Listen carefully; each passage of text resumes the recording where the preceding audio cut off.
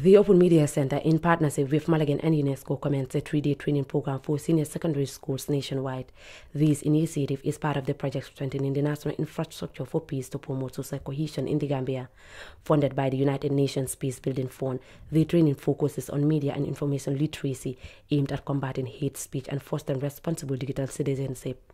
The project aims to equip and empower young Gambians to become responsible, critical, and ethical citizens in their online interactions as part of the ongoing efforts to combat hate speech. The project launched its implementation last year by organizing the National Forum on Hate Speech, an event held in conjunction with the 2023 UN International Day for Countering Hate Speech.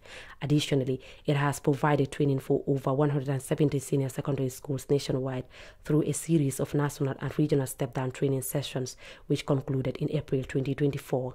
Speaking at the opening ceremony, Keba Jefang, the head of monitoring and fact-checking at the Open Media Center and Malagan, provided an overview of the 3D program. He emphasized that the focus on students aged 17 and 19 was intentionally as they are transitioning into the real-life situations. Um, some of the schools here benefited from the four stages.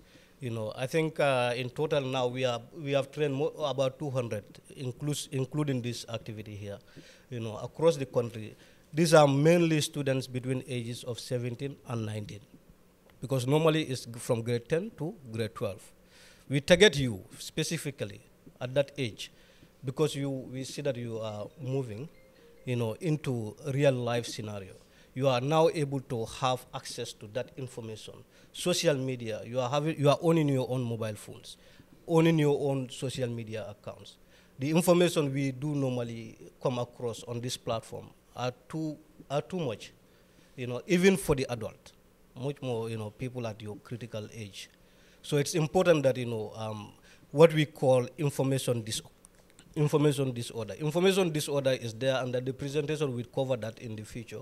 But it's basically, you know, talking about hate speech, how we are dealing with that online, not just hate speech, but also disinformation information that are not true. Most of it, you will know it by its common name. You say fake news.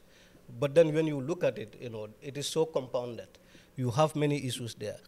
And then um, for this presentation throughout, we're going to take you through all this uh, level of information disorder. Apart from hate speech, we have uh, disinformation and misinformation. These are two different things, you know, but then they are too ramp rampant in the Gambia, you know, and then we are dealing with them. Ngenar Yasin Jeng, National Project Officer for UNESCO's Infrastructures for Peace project in the Gambia, expressed hope that following the training, participants will return to their schools and communities to share their knowledge.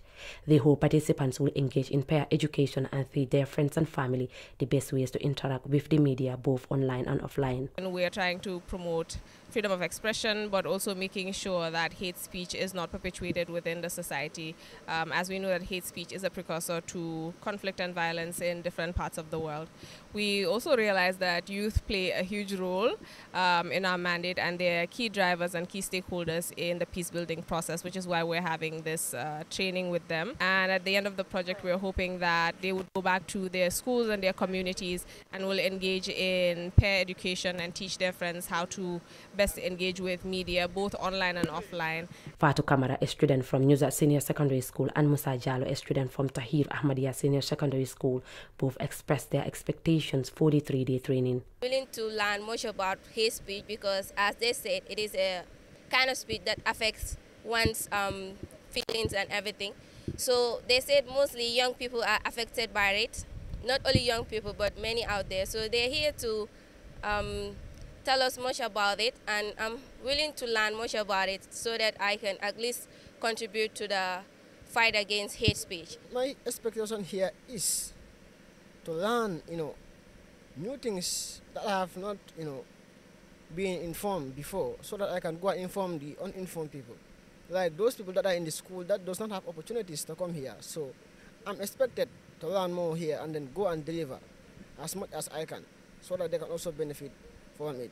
During this training, 34 students from UNESCO NATCOM affiliated schools will explore topics such as cybersecurity, data privacy and protection, countering hate speech and fact checking.